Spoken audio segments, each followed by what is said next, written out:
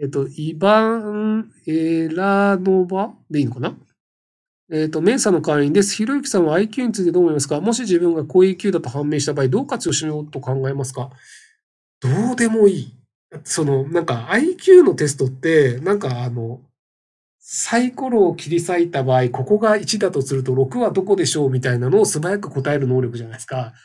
あとなんかあの、四角の積み木をいっぱい並べて、こういう感じになりました。はい、積み木は何個でしょうとか、なんか、あれが早く答えることで人生何の得なるのかよくわかんないですよね。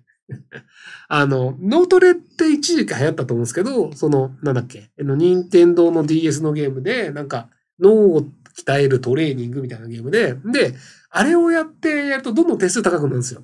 で、脳トレをやった結果どうなるかっていうと、脳トレが上手くなるんですよ。